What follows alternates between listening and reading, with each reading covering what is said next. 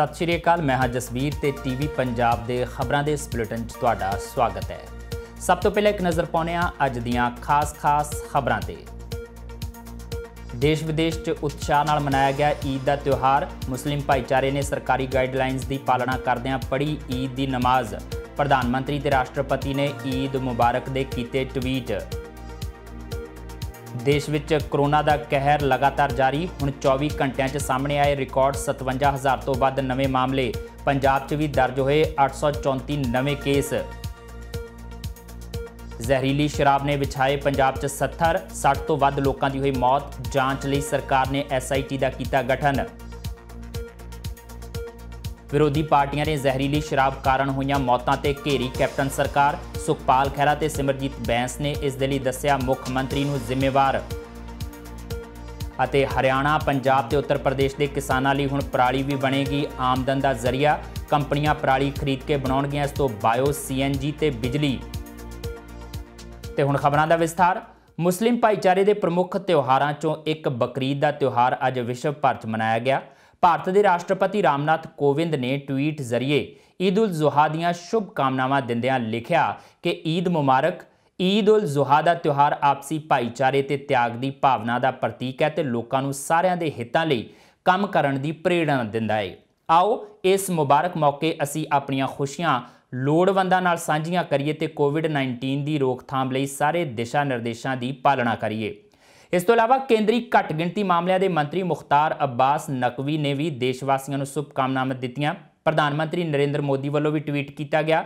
ਕਾਂਗਰਸੀ ਆਗੂ ਰਾਹੁਲ ਗਾਂਧੀ ਨੇ ਵੀ ਇਸ ਮੌਕੇ ਟਵੀਟ ਕਰਕੇ ਲੋਕਾਂ ਨੂੰ ਵਧਾਈ ਦਿੱਤੀ। ਉਹਨਾਂ ਕਿਹਾ ਕਿ ਤੁਹਾਨੂੰ ਸਾਰਿਆਂ ਨੂੰ ਈਦ ਉਲ ਜ਼ੁਹਾ ਦੀ ਮੁਬਾਰਕ।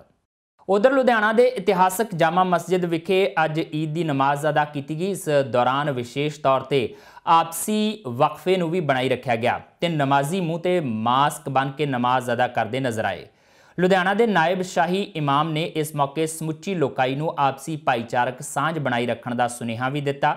ਲੁਧਿਆਣਾ ਜਾਮਾ ਮਸਜਿਦ ਦੇ ਨਾਇਬ ਸ਼ਾਹੀ ਇਮਾਮ ਮੁਹੰਮਦ ਉਸਮਾਨ ਉਰ ਰਹਿਮਾਨ ਨੇ ਕਿਹਾ ਕਿ ਅੱਜ ਕੁਰਬਾਨੀ ਦਾ ਤਿਉਹਾਰ ਹੈ ਤੇ ਅੱਜ ਆਪਸ 'ਚ ਦਾਇਰਾ ਬਣਾ ਕੇ ਨਮਾਜ਼ ਅਦਾ ਕੀਤੀ ਗਈ ਹੈ ਤੇ ਦੁਆ ਮੰਗੀ ਗਈ ਹੈ ਕਿ ਜੋ ਮਹਾਮਾਰੀ ਪੂਰੇ ਵਿਸ਼ਵ 'ਚ ਫੈਲੀ ਹੋਈ ਹੈ ਉਸ ਤੋਂ ਇਨਸਾਨ ਨੂੰ ਬਚਾਇਆ ਜਾ ਸਕੇ। ਬਿਸਮਿਲ੍ਲਾਹਿਰਰਹਿਮਾਨਿਰਰਹੀਮ ਆਜ ਲੁਧਿਆਣਾ ਦੀ ਇਤਿਹਾਸਿਕ ਜਾਮਾ ਮਸਜਿਦ ਵਿਖੇ ਸੋਸ਼ਲ ਡਿਸਟੈਂਸਿੰਗ ਨਾਲ ਜਿਹੜੀ ਨਮਾਜ਼ ਹੋਈ ਹੈ ਇਹ ਈਦ ਉਲ ਜੁਹਾ ਦੀ ਨਮਾਜ਼ ਹੈ ਜਿਹਨੂੰ ਆਪਾਂ ਈਦ ਕੁਰਬਾਨ ਕਹਿੰਦੇ ਇਸ ਮੌਕੇ ਤੇ ਵਿਸ਼ੇਸ਼ ਤੌਰ ਤੇ ਦੁਆ ਕੀਤੀ ਗਈ ਕਿ ਪੂਰੇ ਵਿਸ਼ਵ 'ਚ ਭਾਰਤ 'ਚ ਖਾਸ ਕਰ ਪੰਜਾਬ ਔਰ ਲੁਧਿਆਣਾ ਜਿਹੜਾ ਹੈ ਇਹ ਜਲਦੀ ਕਰੋਨਾ ਮੁਕਤ ਹੋਵੇ ਤਾਂ ਕਿ ਲੋਕ ਆਪਣੇ ਤਿਉਹਾਰ ਆਪਣੇ ਵਪਾਰ ਪਹਿਲਾਂ ਦੀ ਤਰ੍ਹਾਂ ਖੁਸ਼ੀ-ਖੁਸ਼ੀ ਮਨਾ ਸਕਣ ਔਰ ਰੱਬ ਤੋਂ ਦੁਆ ਕੀਤੀ ਗਈ ਕਿ ਆਉਣ ਵਾਲਾ ਜਿਹੜਾ ਸਮਾਂ ਹੈ ਉਹ ਸਾਡੇ ਸਾਰਿਆਂ ਲਈ ਖੁਸ਼ੀਆਂ ਭਰਾ ਸਮਾਂ ਹੋਵੇ ਭਾਰਤ 'ਚ ਕਰੋਨਾ ਵਾਇਰਸ ਦਾ ਕਹਿਰ ਲਗਾਤਾਰ ਜਾਰੀ ਹੈ ਦੇਸ਼ ਵਿੱਚ ਕਰੋਨਾ ਦੇ ਹੁਣ ਤੱਕ ਲਗਭਗ 17 ਲੱਖ ਮਾਮਲੇ ਸਾਹਮਣੇ ਆ ਗਏ ਨੇ। ਉੱਥੇ ਹੀ 36000 ਤੋਂ ਜ਼ਿਆਦਾ ਲੋਕਾਂ ਦੀ ਮੌਤ ਹੋ ਗਈ ਹੈ ਸਿਹਤ ਮੰਤਰਾਲੇ ਵੱਲੋਂ ਜਾਰੀ ਤਾਜ਼ਾ ਅੰਕੜਿਆਂ ਅਨੁਸਾਰ ਪਿਛਲੇ 24 ਘੰਟਿਆਂ 'ਚ ਕਰੋਨਾ ਦੇ ਸਭ ਤੋਂ ਜ਼ਿਆਦਾ 57117 ਮਾਮਲੇ ਸਾਹਮਣੇ ਆਏ ਨੇ ਤੇ 764 ਲੋਕਾਂ ਦੀ ਮੌਤ ਹੋਈ ਹੈ ਲਗਾਤਾਰ ਤੀਸਰੇ ਦਿਨ ਕਰੋਨਾ ਦੇ 50000 ਤੋਂ ਜ਼ਿਆਦਾ ਮਾਮਲੇ ਸਾਹਮਣੇ ਆਏ। ਉਧਰ ਪੰਜਾਬ 'ਚ ਇੱਕੋ ਦਿਨ ਕਰੋਨਾ ਦੇ ਸਭ ਤੋਂ ਜ਼ਿਆਦਾ 834 ਕੇਸ ਸਾਹਮਣੇ ਆਏ ਨੇ। ਇੱਕ ਦਿਨ 'ਚ ਇਸ ਤੋਂ ਪਹਿਲਾਂ 625 ਕੇਸ ਆਏ ਸਨ। ਸੂਬੇ 'ਚ ਕਰੋਨਾ ਨਾਲ ਮਰਨ ਵਾਲਿਆਂ ਦੀ ਗਿਣਤੀ 398 ਹੋ ਗਈ ਹੈ, ਜਦਕਿ ਕੁੱਲ ਕੇਸ 16499 ਹੋ ਗਏ ਨੇ। ਪੰਜਾਬ 'ਚ ਕਰੋਨਾ ਦੇ 145 ਮਰੀਜ਼ਾਂ ਦੀ ਹਾਲਤ ਗੰਭੀਰ ਬਣੀ ਹੋਈ ਹੈ। 135 ਮਰੀਜ਼ ਆਕਸੀਜਨ ਸਪੋਰਟ ਤੇ ਨੇ, ਜਦਕਿ 10 ਮਰੀਜ਼ਾਂ ਨੂੰ ਵੈਂਟੀਲੇਟਰ ਤੇ ਰੱਖਿਆ ਗਿਆ ਹੈ। ਪੰਜਾਬ ਦੇ ਮੁੱਖ ਮੰਤਰੀ ਕੈਪਟਨ ਅਮਰਿੰਦਰ ਸਿੰਘ ਨੇ ਅੰਮ੍ਰਿਤਸਰ, ਬਟਾਲਾ ਤੇ ਤਰਨਤਾਰਨ ਜ਼ਿਲ੍ਹਿਆਂ 'ਚ ਜ਼ਹਿਰੀਲੀ ਸ਼ਰਾਬ ਪੀਣ ਨਾਲ ਹੋਈਆਂ ਮੌਤਾਂ ਦੇ ਮਾਮਲੇ 'ਚ ਜਲੰਧਰ ਡਿਵੀਜ਼ਨ ਦੇ ਕਮਿਸ਼ਨਰ ਨੂੰ ਨਿਆਇਕ ਜਾਂਚ ਦੇ ਆਦੇਸ਼ ਦਿੱਤੇ ਨੇ। ਦੱਸ ਦਈਏ ਕਿ ਅੱਜ ਸਵੇਰ ਤੱਕ ਇਹਨਾਂ ਜ਼ਿਲ੍ਹਿਆਂ 'ਚ 43 ਲੋਕਾਂ ਦੀ ਸ਼ਰਾਬ ਪੀਣ ਨਾਲ ਮੌਤ ਦੀ ਖਬਰ ਸੀ, ਜਿਹੜੀ ਸ਼ਾਮ ਤੱਕ ਗਿਣਤੀ 60 ਤੋਂ ਵੱਧ ਹੋ ਗਈ ਦੱਸੀ ਜਾ ਰਹੀ ਹੈ। ਇਸ ਮਾਮਲੇ 'ਚ ਕੁਝ ਸ਼ੱਕੀ ਲੋਕਾਂ ਨੂੰ ਗ੍ਰਿਫਤਾਰ ਵੀ ਕੀਤਾ ਗਿਆ ਹੈ।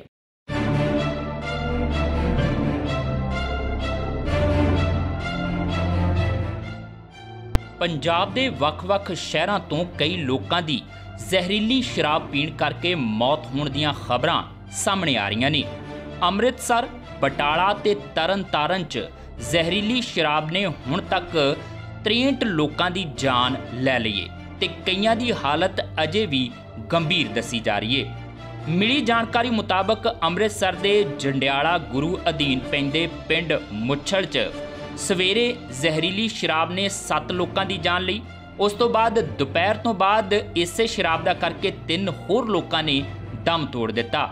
ਜੰਡਿਆਲਾ ਗੁਰੂ ਦੇ ਵਿੱਚ ਵੀ ਇਸੇ ਤਰੀਕੇ ਨਾਲ ਜ਼ਹਿਰੀਲੀ ਸ਼ਰਾਬ ਨੇ ਲੋਕਾਂ ਦੀ ਜਾਨ ਲੀ ਲਈ, ਜਦਕਿ ਕਈਆਂ ਦੀ ਹਾਲਤ ਗੰਭੀਰ ਕਰ ਦਿੱਤੀ। ਉਧਰ ਗੁਰਦਾਸਪੁਰ ਦੇ ਬਟਾਲਾ 'ਚ ਵੀ ਜ਼ਹਿਰੀਲੀ ਸ਼ਰਾਬ ਨੇ ਲੋਕਾਂ ਨੂੰ ਮੌਤ ਦੇ ਮੂੰਹ ਦੇ ਵਿੱਚ ਪਹੁੰਚਾ ਦਿੱਤਾ। ਤਰਨਤਾਰਨ ਦੇ ਤਿੰਨ ਪਿੰਡਾਂ ਦੇ ਵਿੱਚ ਇਸ ਜ਼ਹਿਰੀਲੀ ਸ਼ਰਾਬ ਦਾ ਕਹਿਰ ਵਾਪਰਿਆ ਜਦਕਿ ਕੁਝ ਲੋਕ ਇਸ ਸਮੇਂ ਤਰਨਤਾਰਨ ਦੇ ਸਿਵਲ ਹਸਪਤਾਲ ਦੇ ਵਿੱਚ ਜ਼ੇਰੇ ਇਲਾਜ ਨੇ ਤੇ ਸ਼ਰਾਬ ਪੀ ਕੇ ਜੋ ਸਵੇਰ ਚੜਿਆ ਦਿਨ ਤੇ ਦਿਨੇ ਚੜਿਆ ਕਾਫੀ ਸੀਰੀਅਸ ਹੀ ਇੱਥੇ ਸਿਵਲ ਇੱਕ ਬੰਦਾ ਸਾਡੇ ਪਿੰਡ ਦਾ ਹੋਰ ਪੀ ਬੰਦਾ ਉਹਦੀ ਮੌਤ ਗਈਆਂ। ਉਹਦੀ ਮੌਤ ਹੋ ਚੁੱਕੀ ਆ। ਉਹਦੀ ਸਵੇਰੇ ਮੌਤ ਹੋ ਗਈ ਸੀ ਤੇ ਇੱਕ ਬੰਦਾ ਹੋ ਰਿਹਾ ਉਹ ਵੀ ਦਾਖਲ ਕਰਾਇਆ ਵਾ। ਇਹ ਸਾਰੀ ਸ਼ਰਾਬ ਕਿੱਥੋਂ ਪੀਂਦੇ ਪਏ ਇਹ ਪੰਡੋਰੀ ਪਿੰਡ ਤੋਂ ਪੀਂਦੇ ਆ ਪੰਡੋਰੀ ਬਹੁਤ ਸ਼ਰਾਬ ਵੇਚਦੀ ਆ ਜੀ। ਪੰਡੋਰੀ ਸ਼ਰੇਆਮ ਸ਼ਰਾਬ ਵੇਚਦੀ ਆ। ਸ਼ਰੇਆਮ ਪੁਲਿਸ ਦੀ ਸ਼ਹਿ ਨਾ ਵਿਕਦੀ ਆ ਕੋਈ ਪੁਲਿਸ ਵਾਲਾ ਕੋਈ ਪ੍ਰਸ਼ਾਸਨ ਕੋਈ ਐਮਐਲਏ ਕੋਈ ਨਹੀਂ ਪੁੱਛਦਾ। ਖੁਦ ਐਮਐਲਏ ਦੇ ਪੀਆਂ ਤੱਕ ਦੇ ਤੇ ਠੇਕੇ ਖੋਲੇ ਹੋਏ ਆ। ਤੇ ਪੁੱਛਣਾ ਕਿੰਨੇ ਆ? ਸਰ ਮੇਰਾ ਪਾਪਾ ਸਰ ਸਨ ਪਿਆਰਾ ਸਿੰਘ ਉਹਨਾਂ ਦਾ ਨਾਮ। ਤੇ ਸਰ ਸ਼ਰਾਬ ਪੀਣ ਦੇ ਕਾਰਨ ਉਹਨਾਂ ਦੀ ਸਰ ਡੈਥ ਹੋਈ ਹੈ ਸਰ ਉਹਨਾਂ ਦੀ। ਹਾਂਜੀ ਸਰ ਕਲਰ ਵਾਲੀ ਗਰਾਊਂਡ 'ਚ ਸਰ।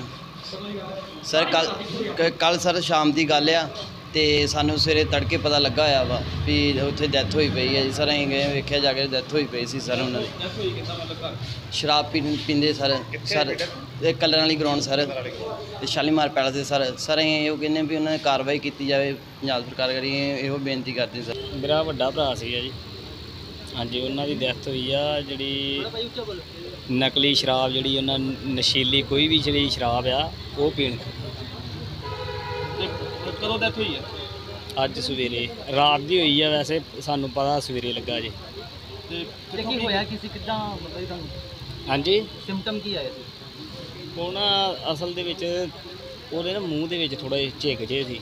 ਔਰ ਜਿਹੜੇ ਇਹਨਾਂ ਦੇ ਨਾਲ ਜਿਨ੍ਹਾਂ ਨੇ ਡੈਥ ਹੋਈ ਆ ਉਹਨਾਂ ਨੇ ਵੀ ਇਹਨਾਂ ਦੇ ਨਾਲ ਹੀ ਪੀਤੀ ਸੀ ਸ਼ਰਾਬ। ਉਧਰ ਪੰਜਾਬ ਦੇ ਤਿੰਨ ਜ਼ਿਲ੍ਹਿਆਂ 'ਚ ਜ਼ਹਿਰੀਲੀ ਸ਼ਰਾਬ ਪੀਣ ਕਾਰਨ ਹੋਈਆਂ 63 ਮੌਤਾਂ ਦੀ ਮੁੱਖ ਮੰਤਰੀ ਕੈਪਟਨ ਅਮਰਿੰਦਰ ਸਿੰਘ ਨੇ ਮੈਜਿਸਟਰੀਅਲ ਜਾਂਚ ਦੇ ਹੁਕਮ ਦਿੱਤੇ ਨੇ। ਉਹਨਾਂ ਨੇ ਕਿਹਾ ਹੈ ਕਿ ਇਸ ਪਿੱਛੇ ਜ਼ਿੰਮੇਵਾਰ ਲੋਕਾਂ ਖਿਲਾਫ ਸਖਤ ਕਾਰਵਾਈ ਕੀਤੀ ਜਾਵੇਗੀ ਤੇ ਪੁਲਿਸ ਨੂੰ ਜ਼ਹਿਰੀਲੀ ਸ਼ਰਾਬ ਬਣਾਉਣ ਵਾਲਿਆਂ ਦਾ ਪਰਦਾਫਾਸ਼ ਕਰਨ ਲਈ ਕਿਹਾ ਗਿਆ ਹੈ। ਦੱਸ ਦਈਏ ਕਿ ਇਸ ਮਾਮਲੇ ਦੀ ਜਾਂਚ ਲਈ ਐਸਆਈਟੀ ਦੀ ਟੀਮ ਗਠਿਤ ਕੀਤੀ ਹੈ। ਜ਼ਹਿਰੀਲੀ ਸ਼ਰਾਬ ਬਣਾਉਣ ਵਾਲੇ ਕੁਝ ਲੋਕਾਂ ਨੂੰ ਪੁਲਿਸ ਨੇ ਗ੍ਰਿਫਤਾਰ ਵੀ ਕੀਤਾ ਹੈ ਇਸ ਮਾਮਲੇ 'ਚ ਕਾਰਵਾਈ 'ਚ ਢਿੱਲ ਵਰਤਣ ਤੇ ਥਾਣਾ ਤਰਸਿੱਕਾ ਦੇ ਐਸਐਚਓ ਨੂੰ ਸਸਪੈਂਡ ਕਰ ਦਿੱਤਾ ਗਿਆ ਹੈ ਜਲੰਧਰ ਦੇ ਡਿਵੀਜ਼ਨਲ ਕਮਿਸ਼ਨਰ ਇਸ ਪੂਰੇ ਮਾਮਲੇ ਦੀ ਜਾਂਚ ਕਰ ਰਹੇ ਨੇ। Bureau report, TV Punjab. ਜ਼ਹਿਰੀਲੀ ਸ਼ਰਾਬ ਨਾਲ ਹੋਈਆਂ ਮੌਤਾਂ ਦੇ ਮਾਮਲੇ 'ਚ ਸੁਖਪਾਲ ਖਹਿਰਾ ਨੇ ਸਿੱਧਾ ਨਿਸ਼ਾਨਾ ਕੈਪਟਨ ਅਮਰਿੰਦਰ ਸਿੰਘ ਤੇ ਵਿੰਨਿਆ। ਉਹਨਾਂ ਮੁਤਾਬਕ ਕੈਪਟਨ ਅਮਰਿੰਦਰ ਸਿੰਘ ਮੁੱਖ ਮੰਤਰੀ ਹੋਣ ਦੇ ਨਾਲ ਹੀ ਆਬਕਾਰੀ ਵਿਭਾਗ ਵੀ ਦੇਖ ਰਹੇ ਨੇ। ਇਸ ਲਈ ਜ਼ਹਿਰੀਲੀ ਸ਼ਰਾਬ ਨਾਲ ਹੋਈਆਂ ਮੌਤਾਂ ਲਈ ਸਿੱਧੇ ਹੀ ਕੈਪਟਨ ਅਮਰਿੰਦਰ ਸਿੰਘ ਜ਼ਿੰਮੇਵਾਰ ਨੇ। ਪੰਜਾਬ ਏਕਤਾ ਪਾਰਟੀ ਦੇ ਪ੍ਰਧਾਨ ਸੁਖਪਾਲ ਖਹਿਰਾ ਨੇ ਜ਼ਹਿਰੀਲੀ ਸ਼ਰਾਬ ਨਾਲ ਹੋਈਆਂ ਮੌਤਾਂ ਲਈ ਮੁੱਖ ਮੰਤਰੀ ਕੈਪਟਨ ਅਮਰਿੰਦਰ ਸਿੰਘ ਨੂੰ ਜ਼ਿੰਮੇਵਾਰ ਦੱਸਿਆ ਏ। ਉਹਨਾਂ ਕਿਹਾ ਏ ਕਿ ਕੈਪਟਨ ਅਮਰਿੰਦਰ ਸਿੰਘ ਮੁੱਖ ਮੰਤਰੀ ਹੋਣ ਦੇ ਨਾਲ ਹੀ ਆਬਕਾਰੀ ਵਿਭਾਗ ਵੀ ਵੇਖ ਰਹੇ ਨੇ। ਪਿਛਲੇ ਦਿਨੀ ਹੀ ਉਹਨਾਂ ਨੇ ਨਾਜਾਇਜ਼ ਸ਼ਰਾਬ ਦੇ ਮਾਮਲੇ 'ਚ ਸਖਤੀ ਕਰਨ ਦੀ ਗੱਲ ਕਹੀ ਸੀ। ਪਰ ਉਸ ਸਖਤੀ ਦਾ ਅਸਰ ਇਹ ਹੋਇਆ ਕਿ ਪੰਜਾਬ ਦੇ ਕੋਨੇ-ਕੋਨੇ 'ਚ ਨਾਜਾਇਜ਼ ਸ਼ਰਾਬ ਦੀਆਂ ਪੱਠੀਆਂ ਲੱਗ ਗਈਆਂ ਤੇ ਇਸ ਜ਼ਹਿਰੀਲੀ ਸ਼ਰਾਬ ਨੂੰ ਪੀਣ ਕਾਰਨ 60 ਦੇ ਕਰੀਬ ਲੋਕਾਂ ਦੀ ਮੌਤ ਹੋ ਗਈ। ਜੋ ਪਿਛਲੇ 2 ਦਿਨ ਤੋਂ ਦੇਸੀ ਸ਼ਰਾਬ ਪੀ ਕੇ ਪੰਜਾਬ ਦੇ ਵਿੱਚ ਆਲਮੋਸਟ 43 44 ਜਾਨਾਂ ਗਈਆਂ ਨੇ। ਜਿੱਥੇ ਸਾਨੂੰ ਸਭ ਨੂੰ ਉਹਨਾਂ ਦੇ ਪਰਿਵਾਰਾਂ ਨਾਲ ਹਮਦਰਦੀ ਆ, ਅਫਸੋਸ ਵੀ ਆ, ਉੱਥੇ ਮੈਂ ਸਮਝਦਾ ਕਿ ਬਿਲਕੁਲ ਪੰਜਾਬ ਸਰਕਾਰ ਦੀ ਨਾ ਅਹਲੀਅਤ ਮੋਰੇ ਆ ਕੰਪਲੀਟ ਫੇਲਿਅਰ ਕਿਉਂਕਿ ਇਹ ਜਿਹੜਾ ਐਕਸਾਈਜ਼ ਐਂਡ ਟੈਕਸੇਸ਼ਨ ਮਹਿਕਮਾ, ਇਹ ਕੈਪਟਨ ਅਮਰਿੰਦਰ ਸਿੰਘ ਜੀ ਦੇ ਕੋਲ ਆਪਣੇ ਕੋਲ ਹੈ ਮੁੱਖ ਮੰਤਰੀ ਵੀ ਨੇ ਔਰ ਸ਼ਰਾਬ ਨੂੰ ਕੰਟਰੋਲ ਕਰਨ ਵਾਲੇ ਮਿਨਿਸਟਰ ਵੀ ਨੇ। ਔਰ ਸ਼ਰਾਬ ਦਾ ਬੜਾ ਵਿਵਾਦ ਉੱਠਿਆ ਲੋਕਡਾਊਨ ਦੇ ਦੌਰਾਨ। ਕਰਫਿਊ ਦੇ ਦੌਰਾਨ ਕਿ ਕਿੱਦਾਂ ਪੈਰਲਲ ਨਜਾਇਜ਼ ਫੈਕਟਰੀਆਂ ਚੱਲ ਰਹੀਆਂ ਨੇ। ਕਿਸ ਤਰ੍ਹਾਂ ਡਿਸਟਿਲਰੀਆਂ ਦੇ ਮਾਲਕ ਜਿਹੜੇ ਨੇ, ਉਹ ਤੜਾ ਤੜ ਐਕਸਾਈਜ਼ ਦੀ ਚੋਰੀ ਕਰਕੇ ਟਰੱਕਾਂ ਦੇ ਟਰੱਕ ਕਰੋੜਾਂ ਰੁਪਏ ਪੰਜਾਬ ਦੀ ਸਰਕਾਰ ਨੂੰ ਚੂਨਾ ਲਾ ਰਹੇ, ਇਹਨਾਂ ਦੇ ਆਪਣੇ ਆਗੂ ਨੇ ਰਾਣੇ ਗੁਰਜੀਤ ਵਰਗੇ ਤੇ ਦੀਪ ਮਲਹੋਤਰਾ ਵਰਗੇ ਅਕਾਲੀ। ਔਰ ਉਸ ਤੋਂ ਬਾਅਦ ਅਮਰਿੰਦਰ ਸਿੰਘ ਮੋਰੇ ਆਉਂਦੇ ਨੇ ਕਿ ਮੈਂ ਸਖਤ ਤਾੜਨਾ ਕਰਦਾ ਕਿ ਅੱਜ ਤੋਂ ਬਾਅਦ ਕੋਈ ਗੈਰ ਕਾਨੂੰਨੀ ਸ਼ਰਾਬ ਦਾ ਧੰਦਾ ਨਹੀਂ ਚੱਲਣ ਦੋ ਕਿਉਂਕਿ ਇਸ ਮਾਲੀ ਵਰੇ ਵਿੱਚ 1820 ਕਰੋੜ ਰੁਪਈਆ 11 ਮਹੀਨਿਆਂ ਵਿੱਚ ਐਕਸਾਈਜ਼ ਦਾ ਰੈਵਨਿਊ ਲਾਸ ਹੋਇਆ ਪੰਜਾਬ ਨੂੰ, ਕਿਉਂਕਿ ਜਦੋਂ ਨੰਬਰ 2 ਦਾ ਧੰਦਾ ਚੱਲੂਗਾ, ਸ਼ਰਾਬ ਮਾਫੀਆ ਆਪਣਾ ਕੰਮ ਕਰੇਗਾ ਪਿੰਡ ਪਿੰਡ ਉਹਨਾਂ ਦੇ ਅੱਡੇ ਹੋਣਗੇ, ਤੇ ਫਿਰ ਸਰਕਾਰੀ ਖਜ਼ਾਨੇ ਵਿੱਚ ਤਾਂ ਉਹ ਆਮਦਨ ਜਾਵੇਗੀ ਨਹੀਂ, ਉਹ ਪ੍ਰਾਈਵੇਟ ਮਾਫੀਆ ਦੀ ਜੇਬਾਂ ਵਿੱਚ ਆਮਦਨ ਗਈ ਸਾਰੀ। ਫਿਰ ਕੈਪਟਨ ਸਾਹਿਬ ਨੇ ਕਿਹਾ, ਜੀ, ਮੈਂ ਬਹੁਤ ਸਟ੍ਰਿਕਟ ਹੋ ਗਿਆ। ਸਟ੍ਰਿਕਟ ਇਹ ਹੋਏ ਕਿ ਆ ਦੇਸੀ ਸ਼ਰਾਬ ਵੇਚਣ ਵਾਲੇ ਪਿੰਡਾਂ ਦੇ ਵਿੱਚ ਆਪਣੇ ਫੱਟੇ ਲਾ ਕੇ ਪੂਰੇ। ਅ, ਸ਼ਰੇਆਮ ਵੇਚਦੇ ਨੇ ਤੇ ਜਿਹਦੇ ਕਰਕੇ 43 ਮੌਤਾਂ ਹੋਈਆਂ। ਬਹੁਤ ਦੁਖਦਾਈ ਅਫਸੋਸਨਾਕ ਦੁਨੀਆ ਤਾਂ ਜਾਰੀ ਆ ਚੰਦ ਤੱਕ ਤੇ ਸਾਡਾ ਪੰਜਾਬ ਜਿਹੜਾ ਕਿ ਬਿਹਤਰੀਨ ਸੂਬਾ ਸੀ ਇਸ ਦੇਸ਼ ਦਾ ਨੰਬਰ 1 ਉਹ ਦੇਸੀ ਸ਼ਰਾਬ ਦਾ ਸ਼ਿਕਾਰ ਹੋ ਕੇ ਲੋਕੀ ਮਰ ਰਹੇ ਨੇ। ਇਤੋਂ ਤੁਸੀਂ ਅੰਦਾਜ਼ਾ ਲਾ ਸਕਦੇ ਹੋ ਕਿ ਕਿੰਨਾ ਨਕਾਰ ਸਾਡੇ ਸੂਬੇ ਦੇ ਵਿੱਚ ਜਿਹੜੇ ਲੋਕ ਰਾਜ ਕਰਨ ਵਾਲੇ ਨੇ ਉਹ ਚਾਹੇ ਕਿੰਨੇ ਹੀ ਆંકੜੇ ਪੇਸ਼ ਕਰਨ ਅਸਲੀਅਤ ਇਹੀ ਆ ਜਿਹੜੀ ਸ਼ਰਾਬ ਦੇ ਨਾਲ, ਦੇਸੀ ਸ਼ਰਾਬ ਨਾਲ ਮੌਤ ਹੋਈ ਹੈ ਸੁਖਪਾਲ ਖਹਿਰਾ ਨੇ ਯੂਏਪੀਏ ਕਾਨੂੰਨ ਦੀ ਦੁਰਵਰਤੋਂ ਬਾਰੇ ਗੱਲ ਕਰਦਿਆਂ ਕਿਹਾ ਕਿ ਹੁਣ ਇਸ ਦੇ ਖਿਲਾਫ ਛੇੜੀ ਮੁਹਿੰਮ ਰੰਗ ਲਿਆ ਤੇ ਪੁਲਿਸ ਨੂੰ ਲੋਕਾਂ ਦੇ ਦਬਾਅ ਹੇਠ ਦੋ ਜਣਿਆਂ ਨੂੰ ਛੱਡਣਾ ਪਿਆ। ਉਹਨਾਂ ਇਸ ਕਾਨੂੰਨ ਦੇ ਮਸਲੇ ਤੇ ਕੈਪਟਨ ਅਮਰਿੰਦਰ ਸਿੰਘ ਤੇ ਸੁਖਬੀਰ ਵਿਚਾਲੇ ਸੋਸ਼ਲ ਮੀਡੀਆ ਤੇ ਹੋਈ ਬਹਿਸ ਦਾ ਜ਼ਿਕਰ ਕਰਦਿਆਂ ਕਿਹਾ ਕਿ ਦੋਵੇਂ ਹੀ ਆਗੂਆਂ ਨੇ ਇਹ ਸਵੀਕਾਰ ਕਰ ਲਿਆ ਹੈ ਕਿ ਪੰਜਾਬ ਪੁਲਿਸ ਸਿਆਸੀ ਦਬਾਅ ਹੇਠ ਬੇਕਸੂਰ ਲੋਕਾਂ ਤੇ ਝੂਠੇ ਕੇਸ ਦਰਜ ਕਰ ਰਹੀ ਹੈ। ਜਿਹੜੀ ਕੁੱਕੜ ਲੜਾਈ ਜੀ ਲੜੀ ਨਾ ਇਹਨਾਂ ਨੇ ਯੂਆਪਾ ਦੇ ਉੱਤੇ ਕੈਪਟਨ ਸਾਹਿਬ ਤੇ ਸੁਖਬੀਰ ਨੇ, ਉਹਦੇ 'ਚ ਇੱਕ ਗੱਲ ਬੜੀ ਅੱਛੀ ਸਾਬਤ ਹੋਈ। ਸੁਖਬੀਰ ਸਿੰਘ ਬਾਦਲ ਕਹਿ ਰਿਹਾ ਵਾ ਕਿ ਕੈਪਟਨ ਸਾਹਿਬ ਤੁਹਾਡੀ ਪੁਲਿਸ ਜਿਹੜੀ ਆ, ਉਹ ਯੂਆਪਾ ਦੇ ਕਾਨੂੰਨ ਦਾ ਦੁਰਉਪਯੋਗ ਕਰ ਰਹੀ ਆ, ਬੇਗੁਨਾਹ ਲੋਕਾਂ ਦੇ ਖਿਲਾਫ ਪਰਚੇ ਕਰ ਰਹੀ ਹੈ ਕੈਪਟਨ ਸਾਹਿਬ ਨੇ ਮੋੜਵਾ ਬਿਆਨ ਦਿੱਤਾ ਕਿ ਤੁਹਾਡੇ ਰਾਜ ਵਿੱਚ ਸੁਖਬੀਰ ਸਿੰਘ ਬਾਦਲ 47 ਮੁਕੱਦਮੇ, ਤੁਸੀਂ ਵੀ ਯੂਆਪਾ ਦੇ ਤਹਿਤ ਦਰਜ ਕੀਤੇ ਸੀ ਕਿ ਤੁਹਾਡੀ ਪੁਲਿਸ ਨੇ ਇਸ ਕਾਨੂੰਨ ਦਾ ਬਹੁਤ ਰੱਜ ਕੇ ਦੁਰਉਪਯੋਗ ਕੀਤਾ। ਦੋਨਾਂ ਨੇ ਇਹ ਗੱਲ ਨੂੰ ਸਵੀਕਾਰ ਕੀਤਾ। ਅਕਸਰ ਪੁਲਿਸ ਤਾਂ ਪੰਜਾਬ ਦੀ ਹੈ ਨਾ, ਉਹ ਕੋਈ ਸੁਖਬੀਰ ਦੀ ਤਾਂ ਹੈ ਨਹੀਂ ਕਿ ਨਾ ਕੈਪਟਨ ਅਮਰਿੰਦਰ ਸਿੰਘ ਦੀ ਆ ਸੁਖਬੀਰ ਵੀ ਕਹਿੰਦਾ ਪੁਲਿਸ ਮਿਸਯੂਜ਼ ਕਰਦੀ ਆ ਲਾਅ ਨੂੰ, ਗਲਤ ਲੋਕਾਂ ਨੂੰ ਫਰੇਮ ਕਰਦੀ ਆ ਕੈਪਟਨ ਸਾਹਿਬ ਵੀ ਕਹਿ ਰਹੇ ਨੇ ਕਿ ਪੁਲਿਸ ਜਿਹੜੀ ਆ, ਇਹ ਦੁਰਉਪਯੋਗ ਕਰ ਰਹੀ ਆ ਅਕਾਲੀ ਦਲ ਵੇਲੇ। ਇਹਨੇ ਗਲਤ ਕੇਸ ਦਰਜ ਕੀਤੇ, ਬੇਗੁਨਾਹ ਲੋਕਾਂ ਨੂੰ ਫਸਾਇਆ। ਪਰ ਜਦੋਂ ਰਾਜ ਚ ਪੈ ਜਾਂਦੇ ਨੇ, ਫਿਰ ਇਹਨਾਂ ਨੂੰ ਉਹੀ ਪੁਲਿਸ ਜਿਹੜੀ ਕਿ ਜਿਹਦੇ ਪਹਿਲਾਂ ਸਖਤ ਖਿਲਾਫ ਹੁੰਦੇ ਨੇ, ਫਿਰ ਇਹਨਾਂ ਨੂੰ ਉਹੀ ਪੁਲਿਸ ਸਾਰੀ ਚੰਗੀ ਲੱਗਣ ਲੱਗ ਜਾਂਦੀ ਆ। ਇਸ ਦੇ ਨਾਲ ਹੀ ਸੁਖਪਾਲ ਖਹਿਰਾ ਨੇ ਇੱਕ ਵਾਰ ਫਿਰ ਸਪਸ਼ਟ ਕੀਤਾ ਹੈ ਕਿ ਉਹ ਖਾਲਿਸਤਾਨ ਜਾਂ ਰੈਫਰੈਂਡਮ 2020 ਦੇ ਨਾਲ ਕੋਈ ਲੈਣਾ ਦੇਣਾ ਨਹੀਂ ਰੱਖਦੇ। ਉਹ ਸਿਰਫ ਉਹਨਾਂ ਬੇਕਸੂਰ ਨੌਜਵਾਨਾਂ ਦੀ ਆਵਾਜ਼ ਚੁੱਕ ਰਹੇ ਨੇ, ਜਿਨ੍ਹਾਂ ਤੇ ਝੂਠੇ ਪਰਚੇ ਦਰਜ ਕੀਤੇ ਗਏ ਨੇ। ਉਹਨਾਂ ਖੁਸ਼ੀ ਪ੍ਰਗਟਾਈ ਕਿ ਇਸ ਮੁਹਿੰਮ 'ਚ ਉਹਨਾਂ ਨੂੰ ਆਮ ਲੋਕਾਂ ਦੇ ਨਾਲ ਕਈ ਸਿਆਸੀ ਆਗੂਆਂ ਦਾ ਸਾਥ ਵੀ ਮਿਲ ਰਿਹਾ ਏ। Bureau report, TV Punjab. ਜ਼ਹਿਰੀਲੀ ਸ਼ਰਾਬ ਕਾਰਨ ਹੋਈਆਂ ਮੌਤਾਂ ਦੇ ਮਾਮਲੇ ਤੇ ਅੱਜ ਲੁਧਿਆਣਾ 'ਚ ਲੋਕ ਇਨਸਾਫ ਪਾਰਟੀ ਦੇ ਮੁਖੀ ਸਿਮਰਜੀਤ ਸਿੰਘ ਬੈਂਸ ਵੱਲੋਂ ਵੀ ਪ੍ਰੈਸ ਕਾਨਫਰੰਸ ਕੀਤੀ ਗਈ, ਜਿਸ ਵਿੱਚ ਉਹਨਾਂ ਨੇ ਸਾਫ਼ ਤੌਰ ਤੇ ਇਹਨਾਂ ਨਾਜਾਇਜ਼ ਫੈਕਟਰੀਆਂ ਦੇ ਸਬੰਧ ਸਿਆਸੀ ਆਗੂਆਂ ਨਾਲ ਹੋਣ ਦੇ ਦਾਅਵੇ ਕੀਤੇ। ਸਿਮਰਜੀਤ ਸਿੰਘ ਬੈਂਸ ਨੇ ਕਿਹਾ ਕਿ ਕੈਪਟਨ ਅਮਰਿੰਦਰ ਸਿੰਘ ਨੇ ਸੱਤਾ ਵਿੱਚ ਆਉਣ ਵੇਲੇ ਪਵਿੱਤਰ ਗੁਟਕਾ ਸਾਹਿਬ ਤੇ ਹੱਥ ਰੱਖ ਕੇ ਸਹੁੰ ਖਾਦੀ ਸੀ ਕਿ 4 ਹਫ਼ਤਿਆਂ 'ਚ ਨਸ਼ਾ ਜੜੋਂ ਖਤਮ ਕਰ ਦਿੱਤਾ ਜਾਏਗਾ। ਪਰ ਖਤਮ ਤਾਂ ਕੀ ਕਰਨਾ ਸੀ? ਨਸ਼ਾ ਹੋਰ ਵੱਧ ਗਿਆ। ਪਹਿਲਾਂ ਜਿੱਥੇ ਚਿੱਟੇ ਨਾਲ ਲੋਕਾਂ ਦੀ ਮੌਤ ਹੁੰਦੀ ਸੀ, ਉੱਥੇ ਹੀ ਹੁਣ ਜ਼ਹਿਰੀਲੀ ਸ਼ਰਾਬ ਨਾਲ ਮੌਤ ਹੋਣ ਲੱਗ ਪਈ ਏ। ਕੈਪਟਨ ਅਮਰਿੰਦਰ ਸਿੰਘ ਜਿਹੜੇ 2017 ਦੇ ਵਿੱਚ ਜਦੋਂ ਵਿਧਾਨ ਸਭਾ ਦੀ ਇਲੈਕਸ਼ਨ ਪ੍ਰਚਾਰ ਦੇ ਲਈ ਨਿਕਲੇ ਤੇ ਲੋਕਾਂ ਨੇ ਉਹਨਾਂ ਦੇ ਭਾਸ਼ਣਾਂ ਦੇ ਉੱਤੇ ਯਕੀਨ ਕੀਤਾ। ਕਿਉਂਕਿ ਉਹਨਾਂ ਨੇ ਲੋਕਾਂ ਨੂੰ ਵਿਸ਼ਵਾਸ ਤੇ ਯਕੀਨ ਹੱਥ ਦੇ ਵਿੱਚ ਪਵਿੱਤਰ ਗੁਟਕਾ ਸਾਹਿਬ ਫੜ ਕੇ ਵੀ ਮੈਂ 4 ਹਫ਼ਤਿਆਂ ਦੇ ਵਿੱਚ ਹੱਥ ਧੋਤੇ, ਹੱਥ ਧੋਣ ਤੋਂ ਬਾਅਦ ਪਵਿੱਤਰ ਗੁਟਕਾ ਸਾਹਿਬ ਹੱਥ 'ਚ ਲਿਆ ਤੇ ਆਪਣੀ ਸਪੀਚ ਦੇ ਵਿੱਚ ਪੰਜਾਬ ਦੇ ਲੋਕਾਂ ਨੂੰ ਵਿਸ਼ਵਾਸ ਦਿਵਾਇਆ ਵੀ 4 ਹਫ਼ਤਿਆਂ ਦੇ ਵਿੱਚ ਮੈਂ ਪੰਜਾਬ ਚੋਂ ਚਿੱਟੇ ਨੂੰ ਖਤਮ ਕਰ ਦੂੰ, ਨਸ਼ਾ ਮੁਕਤ ਪੰਜਾਬ ਕਰ ਦੂੰਗਾ ਗੱਲ ਹੁਣ ਕਿੱਥੇ ਤੱਕ ਵੱਧ ਚੁੱਕੀ ਆ? ਪਹਿਲਾਂ ਅਖਬਾਰਾਂ ਦੇ ਵਿੱਚ, ਮੀਡੀਆ ਦੇ ਵਿੱਚ ਸਿਰਫ ਚਿੱਟੇ ਨਾਲ ਹੁੰਦੀ ਮੌਤ ਦੀ ਖਬਰ ਨਸ਼ਰ ਹੁੰਦੀ ਸੀ। ਕੋਈ ਨੌਜਵਾਨ ਓਵਰਡੋਜ਼ ਲੈ ਕੇ ਜੇ ਮਰ ਜਾਂਦਾ ਸੀ ਤੇ ਉਹਦੀ ਖਬਰ ਲੱਗਦੀ ਸੀ। ਤੇ ਅੱਜ ਬੇਹੱਦ ਦੁੱਖ ਤੇ ਅਫਸੋਸ ਦੇ ਨਾਲ ਕਹਿਣਾ ਪੈ ਰਿਹਾ ਕਿ ਉਹ ਸਰਕਾਰ, ਜਿਹਦਾ ਮੁੱਖ ਮੰਤਰੀ ਬਣਨ ਤੋਂ ਪਹਿਲਾਂ ਪੰਜਾਬ ਦੇ ਲੋਕਾਂ ਨਾਲ 4 ਹਫ਼ਤਿਆਂ ਦੇ ਵਿੱਚ ਪੰਜਾਬ ਨੂੰ ਨਸ਼ਾ ਮੁਕਤ ਕਰਦਾ ਸੀ, ਚਿੱਟੇ ਤੋਂ ਬਾਅਦ ਮੌਤਾਂ ਸ਼ਰਾਬ ਦੇ ਨਾਲ ਵੀ ਹੋਣ ਲੱਗ ਗਈਆਂ ਤੁਹਾਨੂੰ ਯਾਦ ਹੋਊਗਾ, ਪਿਛਲੇ ਦਿਨਾਂ ਦੇ ਵਿੱਚ ਪੰਜਾਬ ਸਰਕਾਰ ਦੇ ਚੀਫ ਸੈਕਟਰੀ ਸਾਹਿਬ ਦਾ ਰੌਲਾ ਬੜਾ ਪਿਆ। ਕਰਨ ਅਵਤਾਰ ਸਿੰਘ ਹੋਰਾਂ ਦਾ ਰੌਲਾ, ਕੋਈ ਵਿਰੋਧੀ ਪਾਰਟੀਆਂ ਨੇ ਨਹੀਂ ਪਾਇਆ। ਉਹ ਰੌਲਾ ਕਿਸੇ ਕਾਂਗਰਸ ਤੋਂ ਉਲਟ ਪਾਰਟੀ ਨੇ ਨਹੀਂ, ਜੇ ਕੋਈ ਵਿਰੋਧੀ ਪਾਰਟੀ ਰੌਲਾ ਪਾਉਂਦੀ ਤੇ ਲੋਕ ਤੇ ਮੀਡੀਆ ਇਹ ਗੱਲ ਸਮਝਦਾ ਵੀ ਇਹ ਵਿਰੋਧ ਵਾਸਤੇ ਜਿਹੜਾ ਇਸ਼ੂ ਨੂੰ ਉਛਾਲਿਆ ਜਾ ਰਿਹਾ। ਵਜ਼ਾਰਤ ਦੇ ਵਿੱਚ ਜਿਹੜੇ ਕੈਬਨਿਟ ਰੈਂਕ ਦੇ ਵਜ਼ੀਰ ਹੈਗੇ ਆ, ਇਹ ਮੁੱਦਾ ਉਹਨਾਂ ਵੱਲੋਂ ਚੁੱਕਿਆ ਗਿਆ।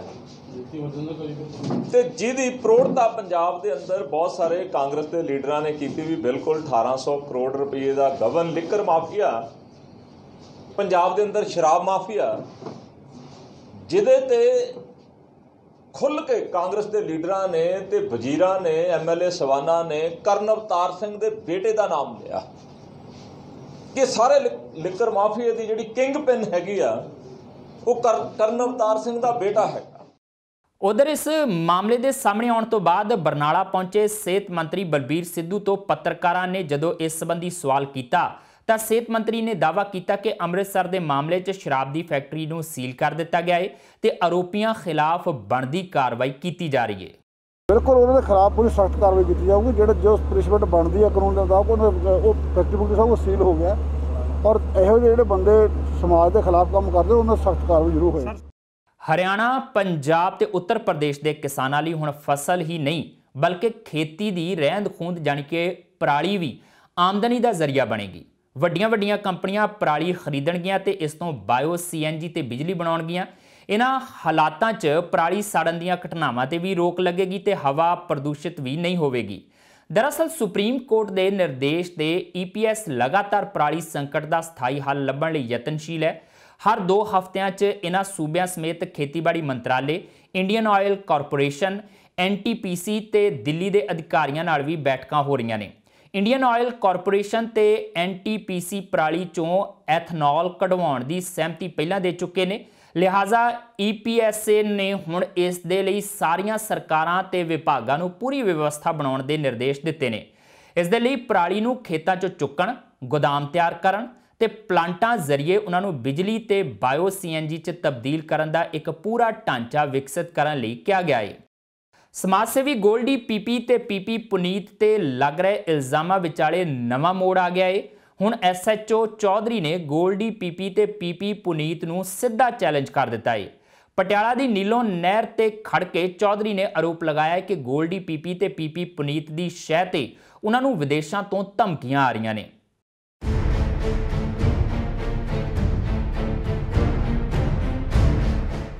ਪੰਜਾਬ ਦੇ ਸਮਾਜ ਸੇਵੀਆਂ ਵਿਚਾਲੇ ਚੱਲ ਰਿਹਾ ਵਿਵਾਦ ਹੋਰ ਤਿੱਖਾ ਹੁੰਦਾ ਜਾ ਰਿਹਾ ਹੈ। ਹੁਣ ਐਸਐਚਓ ਚੌਧਰੀ ਨੇ ਗੋਲਡੀ ਪੀਪੀ ਤੇ ਪੀਪੀ ਪੁਨੀਤ ਨੂੰ ਸਿੱਧਾ ਚੈਲੰਜ ਕਰ ਦਿੱਤਾ ਹੈ। ਪਟਿਆਲਾ ਦੀ ਨੀਲੋ ਨਹਿਰ ਉੱਤੇ ਖੜ ਕੇ ਚੌਧਰੀ ਨੇ ਆਰੋਪ ਲਗਾਇਆ ਕਿ ਗੋਲਡੀ ਪੀਪੀ ਤੇ ਪੀਪੀ ਪੁਨੀਤ ਦੀ ਸ਼ਹਿ ਉੱਤੇ ਉਹਨਾਂ ਨੂੰ ਵਿਦੇਸ਼ਾਂ ਤੋਂ ਧਮਕੀਆਂ ਆ ਰਹੀਆਂ ਨੇ। ਉਹਨਾਂ ਧਮਕੀਆਂ ਦੇਣ ਵਾਲਿਆਂ ਨੂੰ ਚੈਲੰਜ ਕਰਦਿਆਂ ਕਿਹਾ ਕਿ ਉਹ ਨੀਲੋ ਨਹਿਰ ਉੱਤੇ ਖੜੇ ਨੇ। ਜੇਕਰ ਕੋਈ ਉਹਨਾਂ ਦਾ ਕਿਸੇ ਵੀ ਤਰ੍ਹਾਂ ਦਾ ਨੁਕਸਾਨ ਕਰਨ ਦੀ ਸੋਚ ਰਿਹਾ ਹੈ, ਤਾਂ ਉਹ ਆ ਸਕਦਾ ਹੈ। ਦੋਸਤੋ, ਮੈਂ, ਮੈਨੂੰ ਹੁਣ ਨਾਂ ਦੇ ਮੇਰੇ ਮਤਾਜ ਤਾਂ ਤੁਸੀਂ ਇਹ ਨਹੀਂ ਕਿ ਮੈਂ ਨਾਂ ਦੱਸਾਂ ਤੁਹਾਨੂੰ ਵੀ ਮੈਂ ਕੌਣ ਹੈ। ਕਿਉਂਕਿ ਜੇ ਮੈਂ ਨਾਂ ਦੱਸੂਗਾ 2 ਮਿੰਟ ਮੇਰੇ ਨਾਂ ਤੇ ਖਰਾਬ ਹੋ ਜਾਣੇ ਐ ਤੇ ਉਹੋ ਜਿਹੀਆਂ ਤੁਹਾਨੂੰ ਮੈਂ ਹੋਰ ਮਸਾਲਾ ਦੇ ਦੇਣਾ ਅੱਜ। ਰਾਤ ਇੱਕ ਮੈਨੂੰ ਧਮਕੀ ਆਈ ਪੁਰਤਗਾਲ ਤੋਂ। ਕਹਿੰਦਾ ਵੀ ਮੈਂ ਫਲਾਨਾ ਸਿੰਘ ਬੋਲਦਾ, ਪਟਿਆਲੇ ਨੂੰ ਬਿਲੋਂਗ ਕਰਦਾ ਫਲਾਨਾ ਮੇਰਾ ਪਿੰਡ ਹੈ। ਸ਼ਹਿਰ 'ਚ ਮੈਂ ਰਹਿਣਾ ਹੈ ਤੇ ਤੈਨੂੰ ਅਸੀਂ ਦੇਖ ਲਾਂਗੇ, ਤੂੰ ਪੱਗ ਬੰਨ੍ਹਦਾ ਹੈ। ਚੌਧਰੀ ਪੱਗ ਨਹੀਂ ਬੰਨ ਸਕਦੇ। ਉਸ ਨੇ ਮੈਨੂੰ ਧਮਕੀਆਂ ਦਿੱਤੀਆਂ। ਤੇ ਮੈਂ ਉਸ ਵੀਰ ਨੂੰ ਗੱਲ ਕਰਨੀ ਚਾਹੁੰਦਾ ਉਹ ਗਿੜਕ ਮੂਇਆ ਉਹ ਤੇਰਾ ਜਿਵੇਂ ਅੰਬ ਚੂਪ ਕੇ ਸਿੱਟਿਆ ਹੁੰਦਾ ਨਾ ਪਾਸੇ, ਜਿਵੇਂ ਉਹਦੀ ਗਿੜਕ ਹੁੰਦੀ ਹੈ, ਉਹੋ ਜਿਹਾ ਤੇਰਾ ਮੂੰਹ ਹੈ। ਉਹ ਤੂੰ ਕਿਹਨੂੰ ਧਮਕੀ ਦਿੰਦਾ ਚੌਧਰੀ ਨੂੰ? ਉਹ ਤੇਰੇ ਵਰਗੇ ਬਦਮਾਸ਼। ਉਹ ਮੈਂ ਬਦਮਾਸ਼ ਹੀ ਸਿੱਧੇ ਕੀਤੇ ਆ ਤੇਰੇ ਵਰਗੇ। ਤੇਰੇ ਵਰਗੇ ਬਦਮਾਸ਼ਾਂ ਦੀ ਨਲੀ ਡਗਾਈ ਆ ਮੈਂ। ਉਹ ਕੌਣ ਆ ਤੂੰ ਉਹ ਧਮਕੀ ਦੇਣ ਵਾਲਾ ਮੈਨੂੰ? ਇੱਕ ਵੀਰ ਹੋਰ ਸੁਣ ਲਓ ਮੇਰੀ ਗੱਲ। ਉਹ ਗੋਲਡੀ ਵੀਰ। ਉਹ ਪਨੀਤ, ਗੱਲ ਸੁਣ ਲੈ ਮੇਰੀ। ਮੈਂ ਤੇਰਾ ਨਾ ਅਜੇ ਤੱਕ ਨਾਂ ਨਹੀਂ ਲਿਆ ਸੀ। ਕਿਉਂਕਿ ਜਿਹੜੀ ਪਹਿਲੀ ਵੀਡੀਓ ਹੋ ਗਈ, ਮੈਂ ਤੇਰਾ ਨਾਂ ਨਹੀਂ ਲਿਆ। ਤੁਹਾਨੂੰ ਮਿਰਚਾਂ ਲੱਗੀਆਂ, ਤੁਸੀਂ ਬੁੜਕ ਪਏ। ਹੁਣ ਤੁਸੀਂ ਧਮਕੀਆਂ ਦਵਾ ਰਹੇ ਹੋ। ਸੁਣ ਲੈ, ਤੇਰੇ ਬ੍ਰਦਰ ਦਾ ਮੈਨੂੰ ਫੋਨ ਆਇਆ ਸੀ, ਜਿਹੜਾ ਆਰਮੀ ਦੇ ਵਿੱਚੋਂ ਹੈ। ਉਹਨੇ ਕਿਹਾ ਸੀ, ਵੀਰ, ਉਹ ਚੌਧਰੀ ਸਾਹਿਬ ਚੁੱਪ ਕਰ ਜਾਓ, ਬਸ ਨੁਕਸਾਨ ਹੋ ਜਾਊਗਾ। ਮੇਰੀ ਗੱਲ ਸੁਣ ਲਓ। ਤੁਸੀਂ ਜਿਹੜੇ ਹਿਸਾਬ ਨਾਲ ਧਮਕੀਆਂ ਤੇ ਆਏ ਹੋ ਨਾ, ਮੈਨੂੰ ਸਾਡੇ ਆਫੀਸਰਾਂ ਨੇ ਵੀ ਰੋਕਤਾ ਸੀ ਵੀ ਕ੍ਰਿਸ਼ਨ ਲਾਲ ਜੀ ਜੋ ਵਾਇਰਲ ਕਰਤਾ ਬਹੁਤ ਹੈ, ਆਪਣੇ ਆਪ ਲੋਕਾਂ ਦੇ ਸਬੂਤ ਆ ਜਾਣੇ ਆ। ਧਮਕੀਆਂ ਨਾ ਦਿਓ ਮੈਨੂੰ। ਮੈਂ ਤੁਹਾਨੂੰ ਦੱਸਦਾ ਵੀ ਜਿਹੜੇ ਧਮਕੀ ਤੁਸੀਂ ਦੇ ਰਹੇ ਹੋ ਤੇ ਕਿਤੇ ਧਮਕੀ ਜਿਹੜੇ ਦੇਸ਼ ਦੇ ਵਿੱਚੋਂ ਧਮਕੀ ਦੇ ਰਹੇ ਹੋ ਨਾ, ਆ ਜਾਓ ਟਾਈਮ ਬੰਨੋ। ਜਿਹੜੇ ਟਾਈਮ ਭਲਾ ਕੋਈ ਕੈਨੇਡਾ ਹੈ, ਕੋਈ ਅਮਰੀਕਾ ਹੈ, ਕੋਈ ਆਸਟ੍ਰੇਲੀਆ ਹੈ, ਕੋਈ ਵੀ ਹੈ, ਭਲਾ ਕੋਈ ਦੁਬਈ ਹੈ ਤੇ ਭਲਾ ਕੋਈ ਸਿੰਗਾਪੁਰ ਹੈ, ਤੁਸੀਂ ਟਾਈਮ ਬਣੋ 20 ਮਿੰਟਾਂ ਦੇ ਵਿੱਚ ਮੇਰੇ ਬੰਦੇ ਉੱਥੇ ਨਾ ਪਹੁੰਚੇ। ਤੁਸੀਂ ਕੀ ਸਮਝਦੇ ਹੋ ਵੀ ਚੌਧਰੀ ਕੌਣ ਹੈ? ਕੌਣ ਤੁਸੀਂ ਤੁਸੀਂ ਇਹ ਸਮਝਦੇ ਹੋ ਵੀ ਚੌਧਰੀ ਹੈ ਕੀ ਚੀਜ਼? ਉਹ ਚੌਧਰੀ ਬੜੀ ਕੁੱਤੀ ਸ਼ੈ ਹੈ। ਉਹ ਬਗੇਲਾ ਬਾਈ ਯੂ ਐਸ ਏ ਤੋਂ ਜਿਹੜਾ ਸਪੈਸ਼ਲ ਕੁੱਤੇ ਖਾਣੀ, ਜਿਹੜਾ ਕੁੱਤੇ ਖਾਣੀ ਕਰਦਾ ਤੁਹਾਡੀ, ਉਹ ਬਾਈ ਮੇਰਾ ਹਰਪਾਲ ਪੂਨੀ ਜਿੰਦਵਾਲ, ਜਿੰਦਾ ਵਡਾਲੀ ਬਾਈ ਤੇ ਸਲਾਰੀਆ ਸਾਹਿਬ ਦੁਬਈ ਵਾਲੇ। ਉਹ ਜਾਣਦੇ ਇਹਨਾਂ ਨੂੰ? ਉਹ ਚਲੋ ਤਾਂ ਸਹੀ, ਦਿਓ ਧਮਕੀ, ਲਿਆਓ ਬੰਦੇ ਆਪਦੇ। ਉੱਥੇ ਤੁਹਾਨੂੰ ਚੈਲੰਜ ਹੈ, ਜੇ 20 ਮਿੰਟਾਂ 'ਚ ਤੁਹਾਡੇ ਕੋਲੇ ਬੰਦੇ ਨਾ ਪਹੁੰਚਣ। ਉਹ ਮੈਂ ਤੁਹਾਡੀ ਖੁਦੋ ਖਿਲਾਰਨੀ ਨਹੀਂ ਚਾਹੁੰਦਾ ਸੀ ਪਰ ਹੁਣ ਸਾਨੂੰ ਖੁਦੋ ਖਿਲਾਰਨੀ ਪਊਗੀ।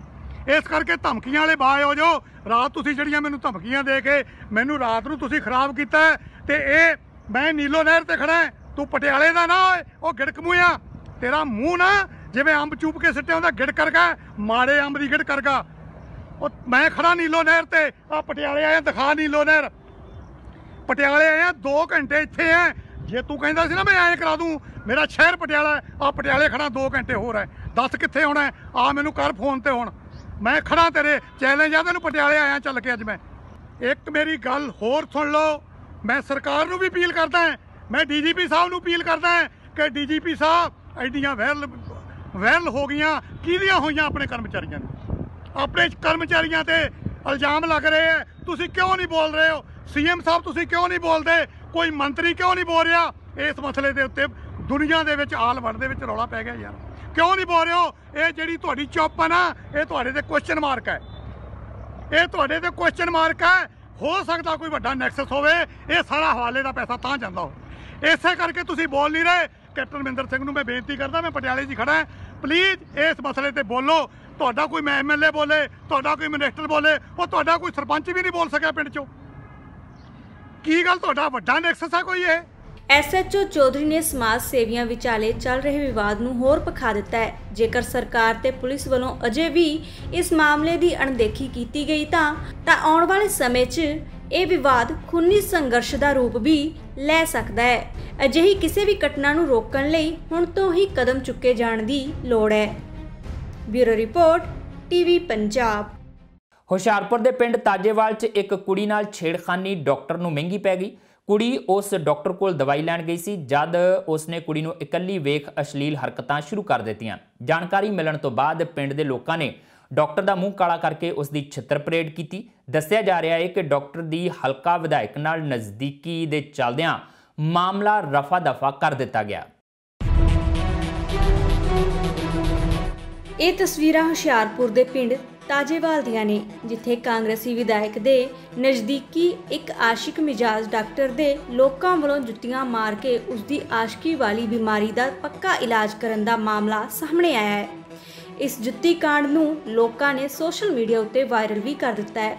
ਹੋਇਆ ਇੰਜ ਕਿ ਕਸਬਾ ਚੱਬੇਵਾਲ ਦੇ ਨਜ਼ਦੀਕ ਪੈਂਦੇ ਪਿੰਡ ਤਾਜੇਵਾਲ ਵਿੱਚ ਡਾਕਟਰੀ ਦੀ ਦੁਕਾਨ ਕਰਨ ਵਾਲਾ ਡਾਕਟਰ ਦਵਿੰਦਰ ਸਰੋਆ, ਜੋ ਕਿ ਕਾਂਗਰਸ ਦੇ ਹਲਕੇ ਦਾ ਜਨਰਲ ਸੈਕਟਰੀ ਵੀ ਰਹਿ ਚੁੱਕਾ ਹੈ। ਦੇ ਕੋਲ ਵੀਰਵਾਰ ਬਾਅਦ ਦੁਪਹਿਰ ਕਿਸੇ ਬਿਮਾਰੀ ਦਾ ਇਲਾਜ ਕਰਵਾਉਣ ਪੁੱਜੀ ਇੱਕ ਔਰਤ ਨਾਲ ਜਦੋਂ ਇਸ ਡਾਕਟਰ ਨੇ ਕਥਿਤ ਤੌਰ ਉੱਤੇ ਅਸ਼ਲੀਲ ਹਰਕਤਾਂ ਕੀਤੀਆਂ ਤਾਂ ਉਸ ਔਰਤ ਨੇ ਇਸ ਦੀ ਜਾਣਕਾਰੀ ਕੁਝ ਪਿੰਡ ਵਾਸੀਆਂ ਤੇ ਆਪਣੇ ਰਿਸ਼ਤੇਦਾਰਾਂ ਨੂੰ ਦੇ ਦਿੱਤੀ। ਜਿਸ ਪਿੱਛੋਂ ਮੌਕੇ ਉੱਤੇ ਪਹੁੰਚ ਲੋਕਾਂ ਨੇ ਡਾਕਟਰ ਦੀ ਛਿੱਤਰ ਕੁੱਟ ਕੀਤੀ ਤੇ ਬਾਅਦ ਵਿੱਚ ਉਸ ਦਾ ਮੂੰਹ ਵੀ ਕਾਲਾ ਕਰ ਦਿੱਤਾ ਤੇ ਪੂਰੀ ਘਟਨਾ ਦੀ ਵੀਡੀਓਗ੍ਰਾਫੀ ਵੀ ਕਰ ਲਈ। ਬਾਅਦ ਵਿੱਚ ਡਾਕਟਰ ਨੇ ਲੋਕਾਂ ਤੋਂ ਮੁਆਫੀ ਮੰਗ ਕੇ ਆਪਣੀ ਜਾਨ ਛੁਡਾਈ। ਇਹਦੇ ਕਰਕੇ ਤੂੰ ਚੜਦਾ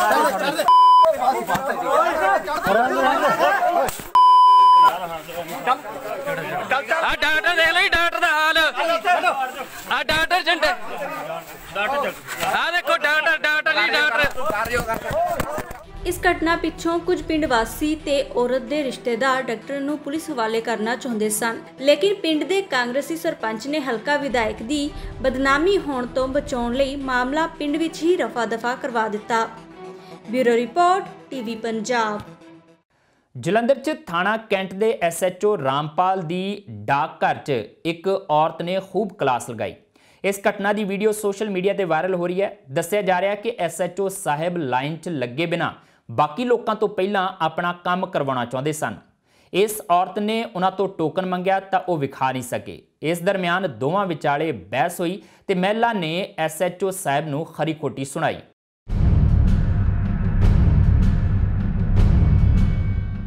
ਜਲੰਧਰ 'ਚ ਪੋਸਟ ਆਫਿਸ ਦੀ ਮਹਿਲਾ ਕਰਮਚਾਰੀ ਨੇ ਇੱਕ ਐਸਐਚਓ ਨੂੰ ਖੂਬ ਸਬਕ ਸਿਖਾਇਆ। ਦਰਅਸਲ ਐਸਐਚਓ ਸਾਹਿਬ ਲਾਈਨ 'ਚ ਲੱਗੀ ਭੀੜ ਨੂੰ ਨਜ਼ਰ ਅੰਦਾਜ਼ ਕਰਦਿਆਂ ਸਿੱਧੇ ਮਹਿਲਾ ਕਰਮਚਾਰੀ ਦੇ ਟੇਬਲ ਉੱਤੇ ਜਾ ਪਹੁੰਚੇ ਅਤੇ ਉਸ ਨੂੰ ਪਹਿਲਾਂ ਉਹਨਾਂ ਦਾ ਕੰਮ ਕਰਨ ਲਈ ਜ਼ੋਰ ਪਾਇਆ।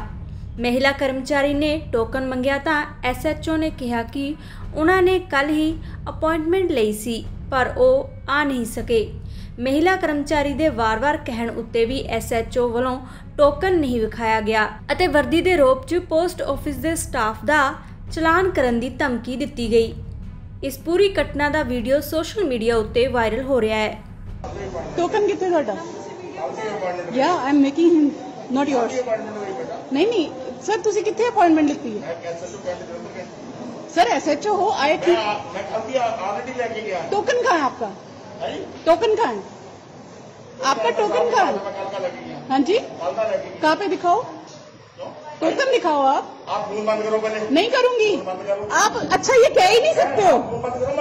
आप आगे नहीं होगे आप आगे नहीं हो सकते। मैं करूँगी। नहीं। मेरे को राइट है मेरा फ़ोन है मैं पहले पटे है। हाँ। जी। मैं ता ही कह रही हूँ असि लोग भी जॉब करते हैं असि भी टाइम कट के आए हैं। वाई हेयर ਤੁਸੀਂ ਏਦਾਂ ਕਿੱਦਾਂ ਆਏ ਹੋ ਇੱਥੇ ਹੈ ਮੈਂ ਕੱਲ ਦੀ ਅਪਾਇੰਟਮੈਂਟ ਲਈ ਆ ਮੈਂ ਆ ਸਰ ਕਿਸ ਕਿ ਇਹ ਪੋਸਟ ਆਫਿਸ ਹੈ ਇਹ ਕੋਈ ਪਰਸਨਲ ਕੋਈ ਕੰਮ ਨਹੀਂ ਹੈਗਾ ਵੀ ਇੱਥੇ ਤੁਸੀਂ ਅਪਾਇੰਟਮੈਂਟ ਲੈ ਕੇ ਆਏ ਹੋ ਹਾਂ what kind of you using word? ਤੇਰੇ ਨਾਲ you know me personally? no. you knowing me personally? ਮੈਂ ਕਿੰਨਾ ਮੈਂ why you using this word? ਮੈਂ ਤੇਰੇ ਨਾਲ ਗੱਲ ਕਰਦਾ who are you? ਬਾਹਰ ਦੀ ਆ ਗਿਆ ਗੱਲ ਕਰ ਰਿਹਾ ਟੋਕਨ ਕਿੱਥੇ ਤੁਹਾਡਾ ਟੋਕਨ ਮੇਰਾ ਅੰਦਰ ਆ। ਕਿੱਥੇ ਅੰਦਰ? ਤੁਸੀਂ ਇੱਥੋਂ ਟੋਕਨ ਕਿੱਥੇ ਟੋਕਨ ਕੋਈ ਬੱਸ ਥੋੜਾ ਹੈ ਟੋਕਨ ਕੱਲ ਦਾ ਲੈ ਕੇ ਗਿਆ ਕੱਲ ਲੇਟ ਹੋ ਗਿਆ ਜੀ। ਹਾਂਜੀ। ਕੱਲ ਦਾ ਲੈ ਕੇ ਗਿਆ। ਸਰ ਟੋਕਨ ਨੋ ਸੂਈ ਮੈਡਮ ਸੌਰੀ ਹਾਂ ਸਰ ਅਸੀਂ ਤਾਂ ਖੁਦ ਕਹਿੰਦੇ ਵੈਰੀ ਸੌਰੀ ਤੁਹਾਡੇ ਵਰਗੇ ਲੋਕ ਰਹਿਣਗੇ ਨਾ ਅਸੀਂ ਲੋਕ ਤਰੱਕੀ ਕਰ ਹੀ ਨਹੀਂ ਸਕਦੇ। ਤੁਹਾਨੂੰ ਪਤਾ ਹੈ ਇੱਥੇ ਆ ਸਾਰੇ ਲੋਕ ਇਹ ਸਾਰੇ ਲੋਕ ਨਾ ਆਪਣਾ ਟਾਈਮ ਕੱਢ ਕੇ ਆਉਂਦੇ ਆ। ਮੈਨੂੰ ਮੈਂ ਵੀ ਟਾਈਮ ਕੱਢ ਅਸੀਂ ਵੀ ਜਾਣਾ ਹੈ। ਤੁਸੀਂ ਜਾਓ ਮੈਂ ਬਾਅਦ ਵਿੱਚ ਜਾਊਂਗਾ। ਠੀਕ ਹੈ ਨਾ? ਤੁਹਾਡਾ ਟੋਕਨ ਕਿੱਦਾਂ? ਮੈਂ ਕੱਲ ਦੀ ਅਪਾਇੰਟਮੈਂਟ ਲਈ ਤੁਸੀਂ ਉਧਰੋਂ ਆਏ ਹੋ ਚਲਾਨ ਬੁੱਕ ਤੁਹਾਡੇ ਹੱਥ 'ਚ ਹੈਗੀ ਹੈ ਤਾਂ ਤੁਸੀਂ ਆਣ ਕੇ ਇੱਥੇ ਬਹਿ ਗਏ ਹੋ। ਵਾਈ ਤੁਸੀਂ ਆਣ ਕੇ ਸਰ ਬਿਨਾਂ ਟੋਕਨ ਦੇ ਕਿੱਦਾਂ ਬੈਠੇ ਹੋ? ਮੈਂ ਅਪਾਇੰਟਮੈਂਟ ਐਸਐਚਓ ਹੈਗੇ ਹੋ ਕਿਸੇ ਵੀ ਰੈਂਕ ਦੇ ਹੋ ਤੇ ਕੀ ਗੱਲ? ਬੇਟਾ ਅਪਾਇੰਟਮੈਂਟ ਕੱਲ ਦੀ ਲਈ ਸਰ ਖੁਦਾ ਨਹੀਂ ਹੋ ਨਾ। ਸਰ ਖੁਦਾ ਨਹੀਂ ਹੋ ਨਾ। ਨਹੀਂ ਖੁਦਾ ਨਹੀਂ ਆਪ ਹੀ ਖੁਦਾ ਨਹੀਂ ਹੋ। ਅਸੀਂ ਵੀ ਖੁਦਾ ਨਹੀਂ ਆ। ਜੇ ਮੈਂ ਖੁਦਾ ਹੁੰਦੀ ਮੈਂ ਤਾਂ ਆਣ ਕੇ ਕਹਿਣਾ ਸੀ ਉੱਠੋ ਜੀ। ਮੈਂ ਕਹਿਤਾ ਮੈਂ ਬੇਟਾ ਬੇਟਾ ਕੱਲ ਦੀ ਅਪਾਇੰਟਮੈਂਟ ਲਈ ਆ। ਇਹ ਸਨ ਹੁਣ ਤੱਕ ਦੀਆਂ ਖਬਰਾਂ ਤੇ ਜਾਂਦੇ ਜਾਂਦੇ ਇੱਕ ਵਾਰ ਫਿਰ ਝਾਤ ਪਾਉਂਦੇ ਹਾਂ ਮੁੱਖ ਖਬਰਾਂ ਤੇ। ਦੇਸ਼ ਵਿਦੇਸ਼ 'ਚ ਉਤਸ਼ਾਹ ਨਾਲ ਮਨਾਇਆ ਗਿਆ ਈਦ ਦਾ ਤਿਉਹਾਰ। ਮੁਸਲਿਮ ਭਾਈਚਾਰੇ ਨੇ ਸਰਕਾਰੀ ਗਾਈਡਲਾਈਨਸ ਦੀ ਪਾਲਣਾ ਕਰਦਿਆਂ ਪੜ੍ਹੀ ਈਦ ਦੀ ਨਮਾਜ਼। ਪ੍ਰਧਾਨ ਮੰਤਰੀ ਤੇ ਰਾਸ਼ਟਰਪਤੀ ਨੇ ਈਦ ਮੁਬਾਰਕ ਦੇ ਕੀਤੇ ਟਵੀਟ। ਦੇਸ਼ ਵਿੱਚ ਕਰੋਨਾ ਦਾ ਕਹਿਰ ਲਗਾਤਾਰ ਜਾਰੀ। ਹੁਣ 24 ਘੰਟਿਆਂ 'ਚ ਸਾਹਮਣੇ ਆਏ ਰਿਕਾਰਡ 57000 ਤੋਂ ਵੱਧ ਨਵੇਂ ਮਾਮਲੇ। ਪੰਜਾਬ 'ਚ ਵੀ ਦਰਜ ਹੋਏ 834 ਨਵੇਂ ਕੇਸ।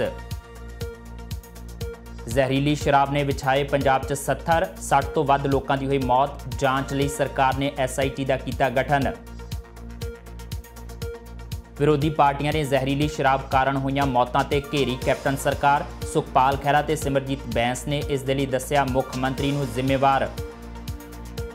ਅਤੇ ਹਰਿਆਣਾ, ਪੰਜਾਬ ਤੇ ਉੱਤਰ ਪ੍ਰਦੇਸ਼ ਦੇ ਕਿਸਾਨਾਂ ਲਈ ਹੁਣ ਪਰਾਲੀ ਵੀ ਬਣੇਗੀ ਆਮਦਨ ਦਾ ਜ਼ਰੀਆ।